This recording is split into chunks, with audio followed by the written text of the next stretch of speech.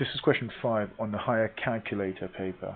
So let's just read the question carefully. First, the question has a diagram up here and it says A, B, C, A, B and C are three service stations on a motorway.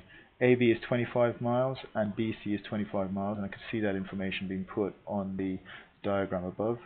Aisha drives along the motorway from A to C. Aisha drives at an average speed of 50 miles an hour from A to B and she drives at an average speed of 60 miles per hour from B to C. Work out the difference in the time Aisha takes to drive from A to B and the time Aisha takes to drive from B to C.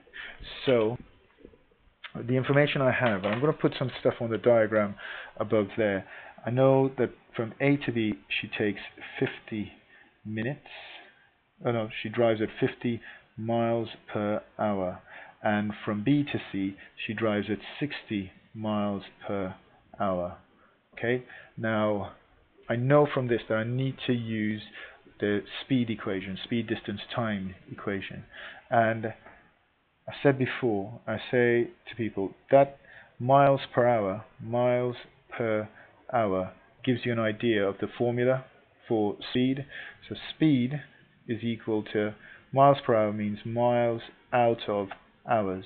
Right? Miles is a distance, hours is a time. So you could remember the speed, distance, time like that. Speed, speed is equal to distance over time. But I know in science most people remember it using the triangle. And that's pretty useful, especially in questions like this. Yeah, Speed is equal to distance over time. Okay, they split it up like so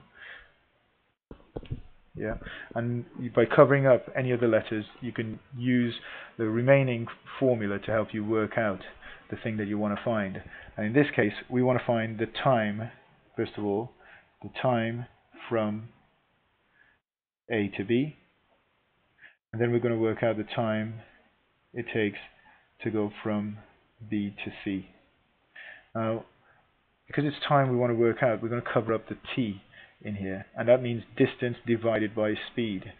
Distance divided by speed. So to get from A to B the distance is 25 miles and the speed is 50 miles per hour. So it's 25 divided by 50 and again I'm using the same thing because it's time that I want to work out. From B to C the distance is 25 and the speed is 60 so that's going to be 25 divided by 60 I'm going to use my calculator to work this out. So let's have a look. 25 divided by 50, that's equal to 0 0.5. 0 0.5. But remember here, the speed was miles per hour, so that's 0.5 hours. And I'm going back to the question. The question says, give your answer in minutes. So 0.5 hours, if I want to change that into minutes, 0.5 times it by the 60 minutes in an hour. And that's going to give me 30 30 minutes. Okay? So that's 30 minutes.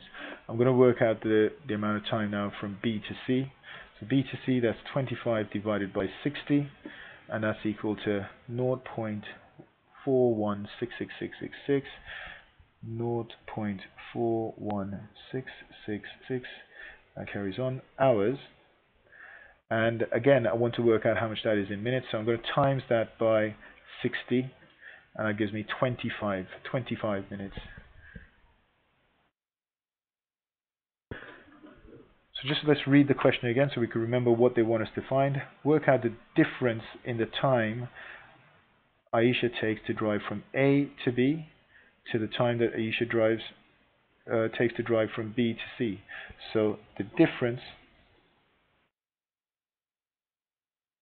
in the times is going to be 30 minutes take away 25 minutes. Okay, so 30 minutes take away 25 minutes, and that's going to give me 5 minutes. And I'm going to write that in my answer space down at the bottom and that's five minutes. Now this is a pretty straightforward question. I've written every stage of it right, going through. What you need to know to answer this question is the speed, distance, time equation, right? You need to make sure you remember that, and that, that that's something that you could use and apply relatively easily. Okay?